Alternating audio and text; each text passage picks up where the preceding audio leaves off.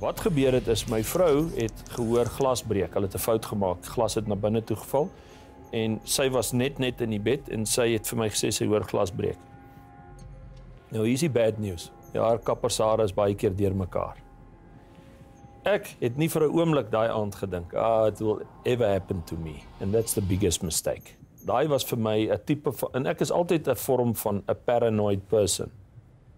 Maar daai aand was uh, dit is asof daar 'n ekstra penny by my gedrop het. Daarna natuurlik dat jy kan nooit as jy 'n geluid hoor net eenvoudig aanvaar, ag, dis net maar net dit die of die ander. Doen nie moeite, doen nie ekstra oefening, stap en gaan kyk.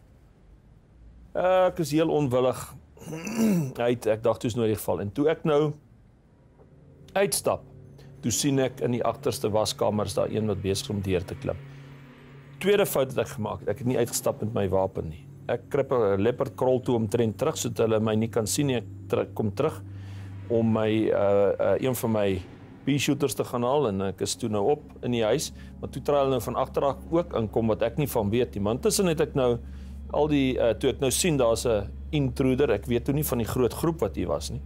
Toe sê ek vir Karin en die kinders, jy weet, gaan in die kinderkamer in, gaan lê onder die beddens en julle bly daar en ek gee vir Karin 'n wapen. Alles natuurlik baie vinnig, 'n matter of seconds.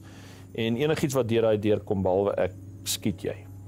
Nou ja, ek is toe terug, maar toe sien ek die man sit nou redelik vas in daai klein venstertjies, maar so klein venstertjie en hulle try nou op 'n ander manier inkom. En hy as hulle hom terugtrek, uh dan hak hy in en en maar soos ek gesê het, dit gebeur maar in sekondes en ek besluit toe ek gaan nou nie uh verder e e enigstens wag nie want toe toe begin ek nou agterkom dat daar moet meer as een wees.